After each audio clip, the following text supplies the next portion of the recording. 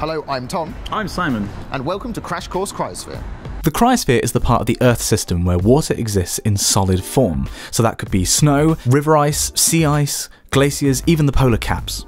The cryosphere covers a significant part of the Earth's surface and is a significant influence on climate, so it's important that we understand it. In this series, we're going to be teaching you about the science of ice and also trying to provide some historical context to its study. I'm going to be here in the library at the Scott Polar Research Institute talking about how maths and physics influence our understanding of the cryosphere. I'm going to be here in the Scott Polar Research Institute's lecture theatre to talk to you about the science of ice. And I'm also going to be here in the museum and the archive of the Institute, talking to the head curator and looking at artefacts that shed some light on the history of our understanding of the cryosphere. So that's what you've got to look forward to in this series. But to kick us off in this episode, I'm going to be looking at the physics of how substances change from liquid to solid. I'll be looking at where the water on Earth has come from, and I'll be dabbling a little bit in how water turns to ice as well. Cue the intro.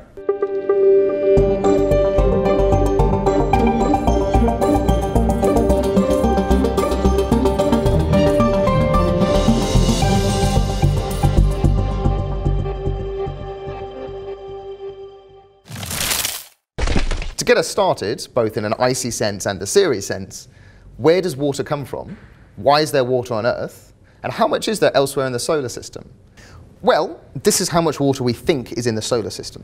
Now, these are some pretty rough estimates that we've put together here, and certainly doesn't include every single potential body that has water. What we're doing this in is in Earth units, so one Earth unit of water. In this case, it's about 200 milliliters. Now, what else have we got elsewhere in the solar system? Well, on the moon, we actually have traces of water. This is very much not to scale, this one, and it's ice in the craters on the poles of the moon. On Mars, the red planet, we have 0.5 Earth units worth of water. Now, Mars is particularly interesting because this water is locked up in glaciers at both poles.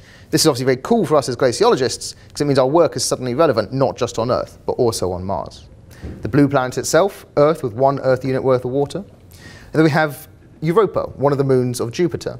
This has 2.5 Earth units of water and is largely an icy ball which is completely covered in solid ice. Effectively, we think sea ice covering a vast ocean. And here we have the one I can never pronounce, but this time we will go for Encelades?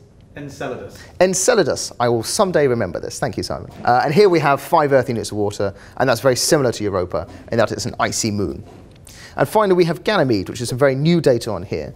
And we're not really sure what's going on, except we know there's 10, possibly, it's a pretty rough guess, but maybe 10 Earth units of water. From all of this, we can see that whilst the Earth is special in terms of harbouring life, in terms of water, there's actually a lot of it else around the solar system, and a lot of it's in an icy state. As with Mars, this is great news for those of us who study the cryosphere, as this means that our work is not only relevant on our Earth, but is relevant across the solar system. There are a number of competing hypotheses, which are not mutually exclusive, as to where all the water on Earth has come from. The first of these is exoplanetary origins. So this is from asteroids or protoplanets impacting on the Earth's surface during its early formation. We actually know that most of the water on Earth came very early on in the Earth's life cycle. And we know this by comparing hydrogen isotopes between the Moon, asteroids and Earth, which indicate that yes, most water on Earth is actually very old. A hydrogen isotope is just a hydrogen atom, but with a different number of neutrons in the nuclei. This means it has the same chemical properties, but just a different atomic weight. The second hypothesis is that not all water on Earth came from exoplanetary objects, that at least some of the water must have come from the Earth itself. There are two reasons for this. The first of these is that not all of the exoplanetary objects that impacted on the Earth will have brought water with them. This reduces the chance of the overall water body being all exoplanetary. In addition to this, it's been found that the ratio of hydrogen isotopes on comets is about double that of oceanic water. This strongly suggests that these two separate bodies have different sources of water on them. A couple of suggested Earth-centered sources of water include the leakage of water from hydrated minerals and, even more awesomely, bacteria. Very early on in the Earth's life cycle, there was a very exotic bacteria that had very weird energy-gaining pathways, the byproducts of which may have been water. However, the bacterial one, whilst extremely cool, is unlikely to be a major source. A third sort of mini hypothesis has recently come out of some really cool research on Baffin Island.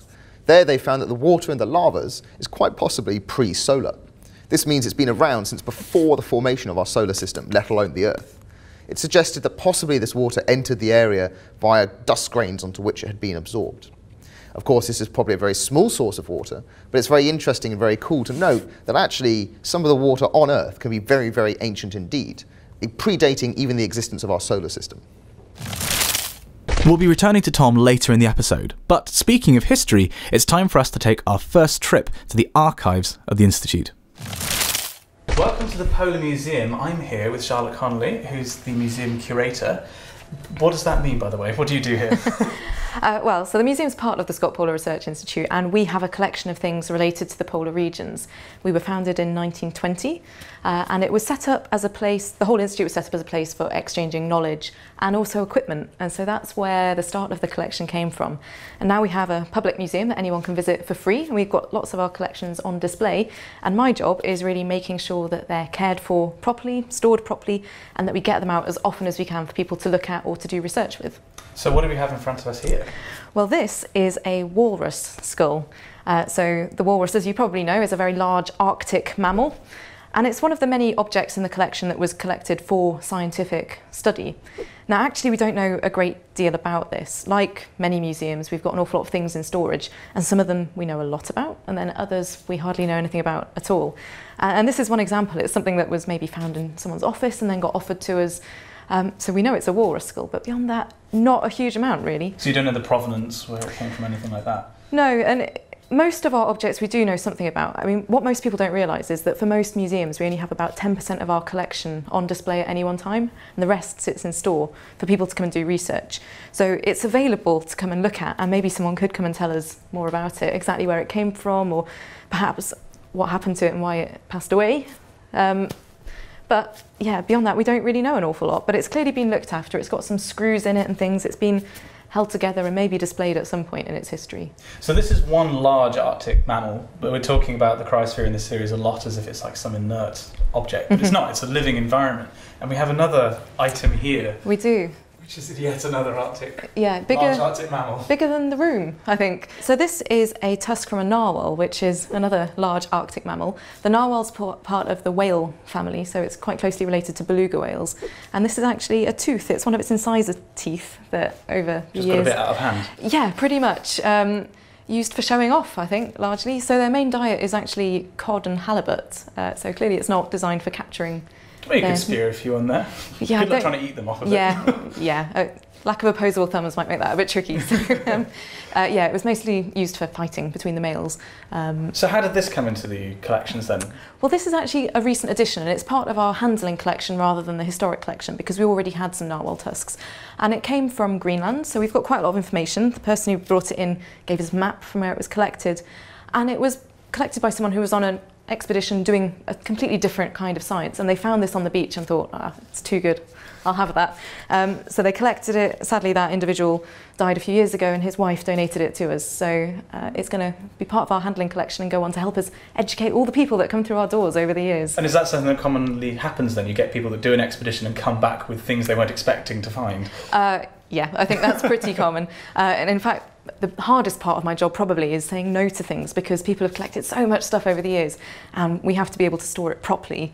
Um, so sadly we have to turn down lots of really wonderful things that we just don't have space for, which is a bit of a shame. I'm glad you didn't say no to this because it's really cool. Yeah, isn't it? We'll be returning to the archives next week, but right now it's time to go back to Tom, who wants to talk about one of the most fundamental processes in the cryosphere. So now we have our water. But how does that water become ice? And how does that ice become snow? And how does that snow then become a glacier?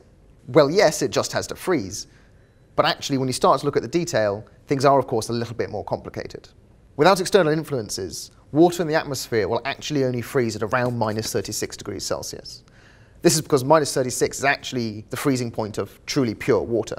Of course, in nature, it's very rare for us to get pure water. And there's actually a number of ways in which we can have water freezing from somewhere between 0 degrees Celsius and minus 36 degrees Celsius. One of the ways in which we can get water to freeze at higher temperatures than minus 36 is by having particles in the water droplets. This is a process known as nucleation. Examples of such nucleating centers include things like black carbon, dust, and even microbes. Interestingly, it's actually these biological sources that can probably get water to freeze at the highest temperature. This is because fundamentally they have a higher surface area due to all the little spikes and stuff, as compared to the smoother particles of carbon or whatever. Thus, not only will a colder atmosphere lead to more snow, but a colder and dustier atmosphere leads to more snow. Because not only are you meeting the threshold for freezing easier, but you also have more material around which the ice crystals can nucleate. This relationship between water availability and nucleation sources is one of the reasons why you get polar deserts. Now, we're very used to thinking of deserts in terms of hot places, but actually you get them a lot in the cryosphere as well, particularly in Antarctica. One of the reasons why the Antarctic dry valleys exist is because not only is all the water around them locked up in the ice, but also that ice is on top of the land, which prevents dust from being released, and obviously there's relatively little microbial life or things ejecting pollen into the air, around which ice in the atmosphere could then nucleate and then fall to Earth. Therefore, you end up with the Antarctic dry valleys, which are actually one of the driest places on Earth, and have been taken increasingly by scientists as a good place to study as a proxy for Mars. Now, unfortunately, at this point, we're probably going to have to break out some physics. Thanks, Tom.